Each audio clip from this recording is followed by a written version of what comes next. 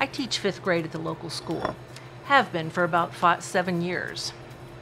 I teach the same syllabus every year, so I do the same thing over and over and over again. Language skills. Demonstrate command of, of the conventions of standard English grammar and usage when writing and speaking.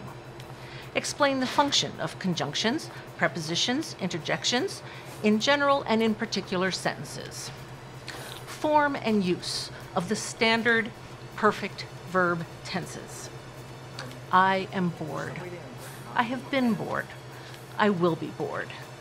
You get the point.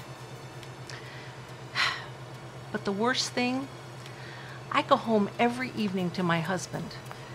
And as my mother religiously asked my father at dinner, for the sake of small talk, I ask him, Hi, hun, how was your day?